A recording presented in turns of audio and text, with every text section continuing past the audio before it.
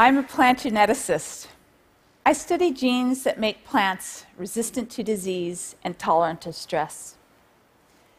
In recent years, millions of people around the world have come to believe that there's something sinister about genetic modification. Today, I'm going to provide a different perspective. First, let me introduce my husband, Raoul. He's an organic farmer. On his farm, he plants a variety of different crops.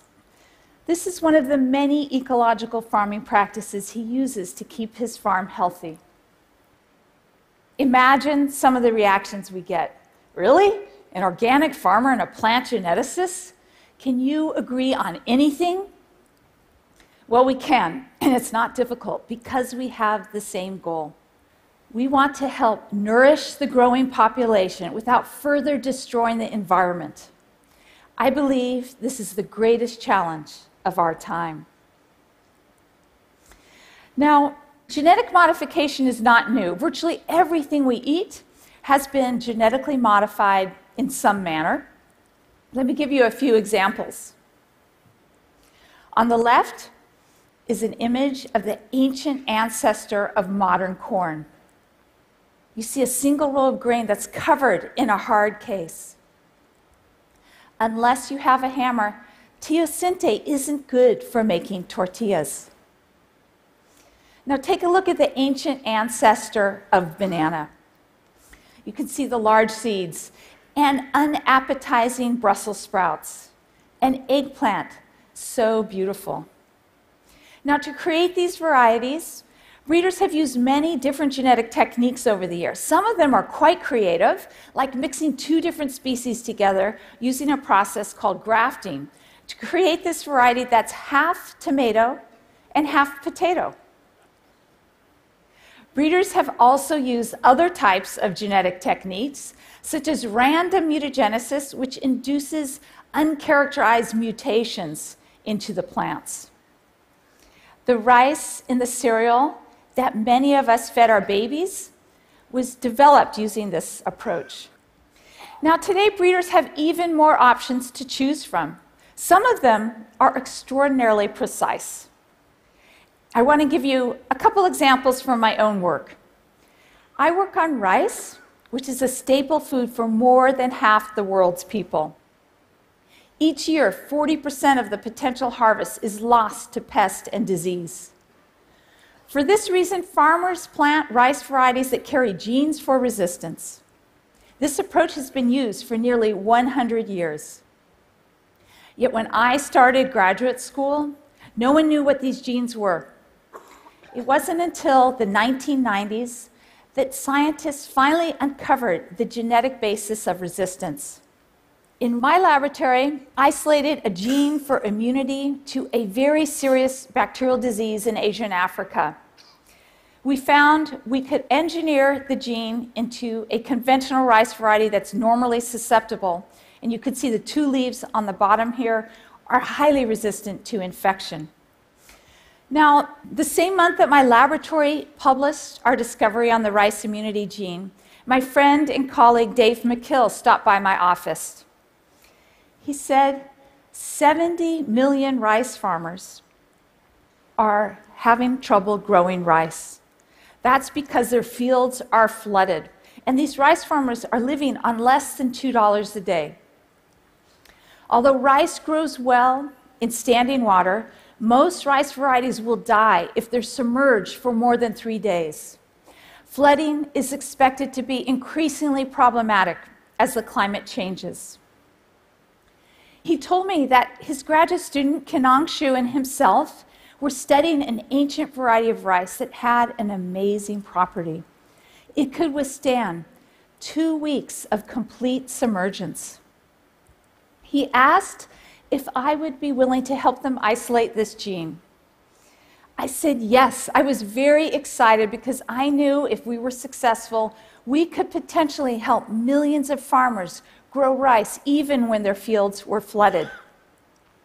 Kenong spent 10 years looking for this gene.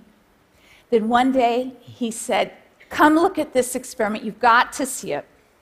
I went to the greenhouse and I saw that the conventional variety that was flooded for 18 days had died.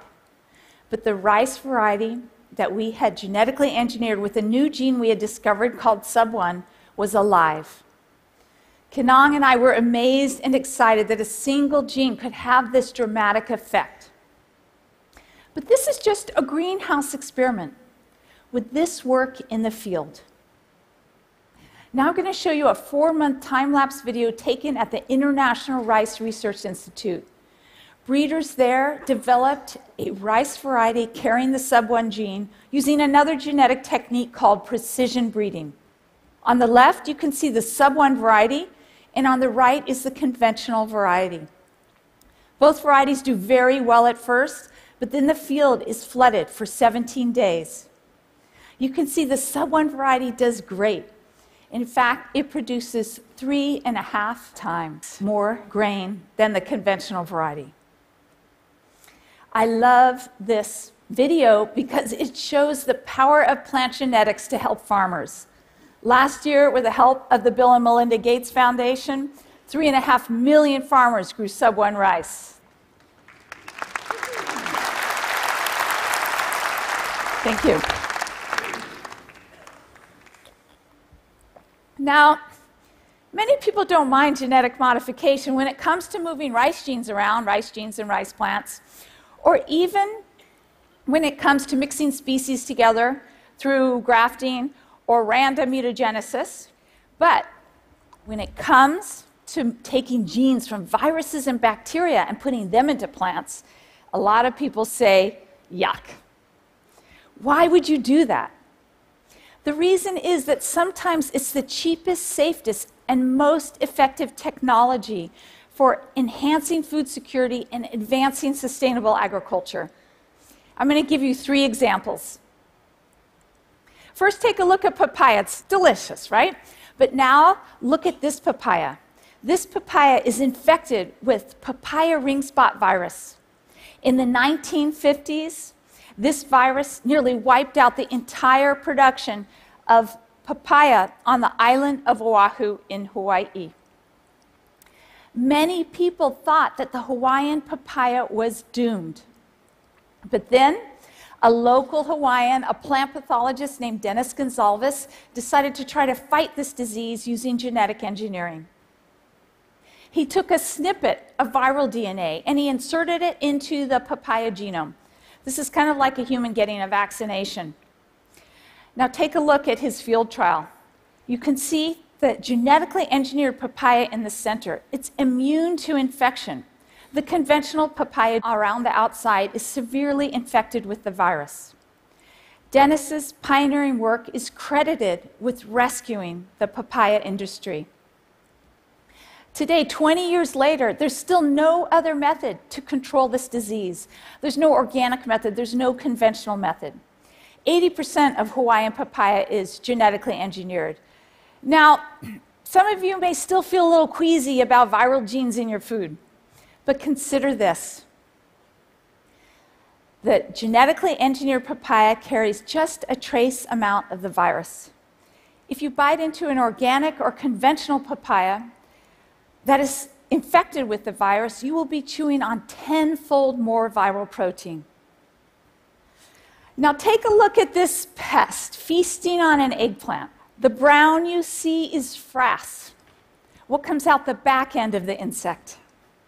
To control this serious pest, which can devastate the entire eggplant crop in Bangladesh, Bangladeshi farmers spray insecticides two to three times a week, sometimes twice a day when pest pressure is high. But we know that some insecticides are very harmful to human health especially when farmers and their families cannot afford proper protection, like these children.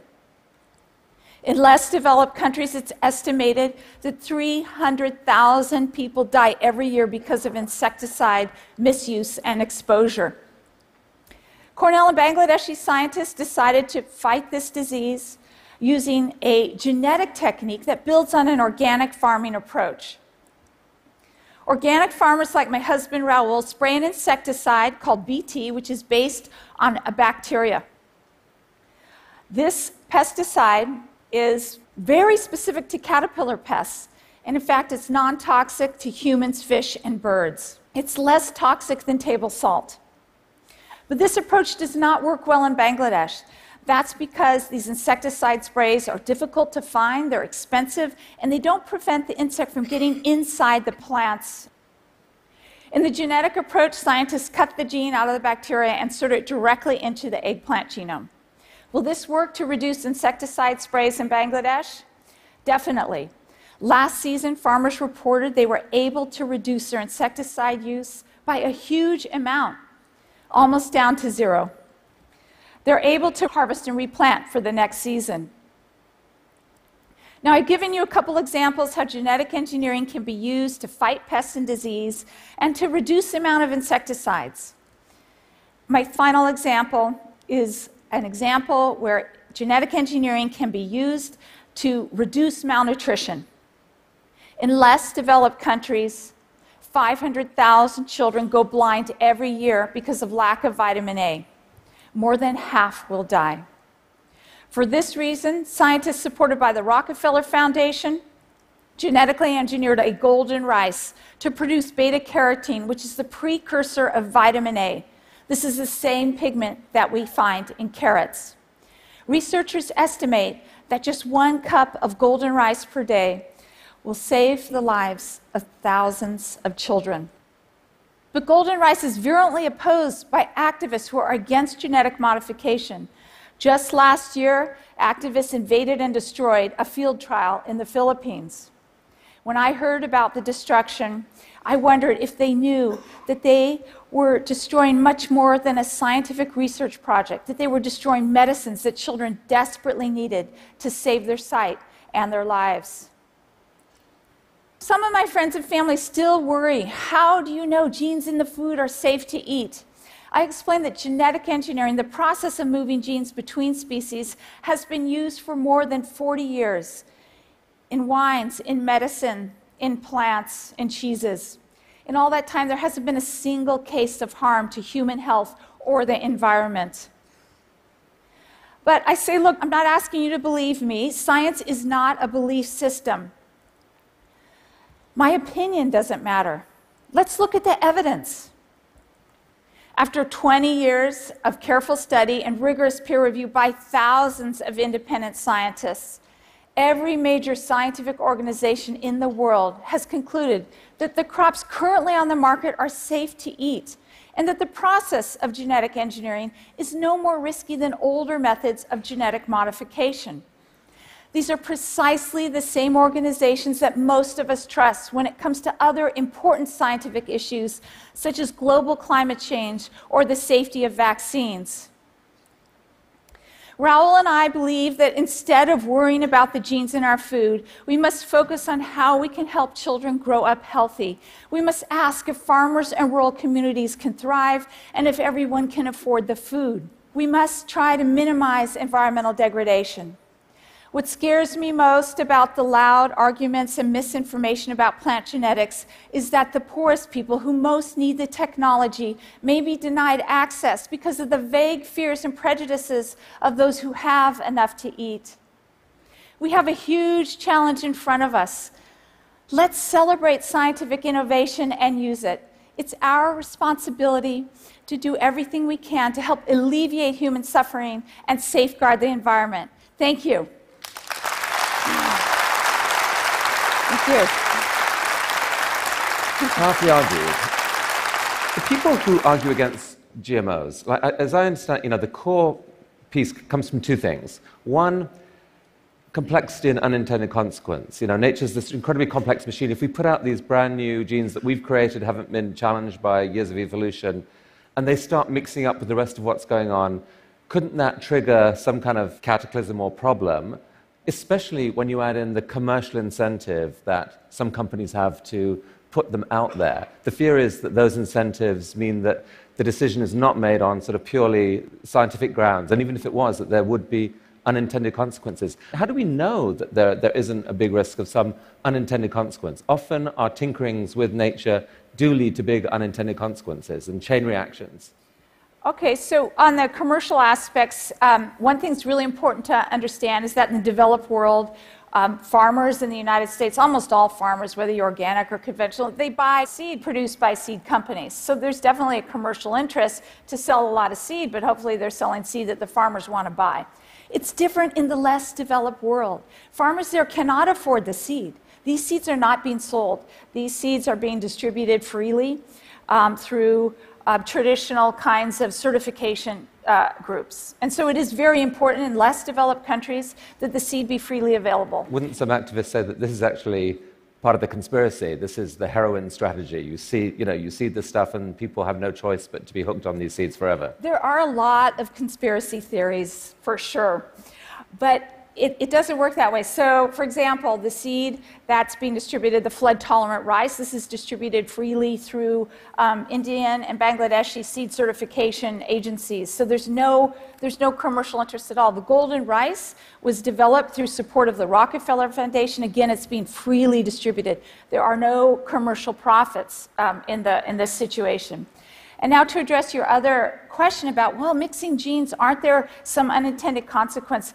Absolutely. Every time we do something different, there is an unintended consequence. But one of the points I was trying to make is that we've been doing kind of crazy things to our plants mutagenesis using radiation or chemical mutagenesis. This induces thousands of uncharacterized mutations. And this is even a higher risk of unintended consequence than many of the modern methods. And so it's really important not to use the term GMO because it's scientifically meaningless. It's, I feel it's very important to talk about a specific crop and a specific product and think about the need of the consumer. So, so part of what's happening here is that there's a mental model in a lot of people that nature is nature and it's, it's pure and pristine, and that to tinker with it is Frankensteinian. It's sort of it's, it's making something that's pure d- dangerous in some way. And I think you're saying that, that that whole model just misunderstands how nature is. Nature is a much more chaotic interplay of genetic changes that have been happening all the time anyway. That's absolutely true. And there's no such thing as pure food. I mean, you could not spray eggplant with insecticides or not genetically engineer it, but then you'd be stuck eating frass.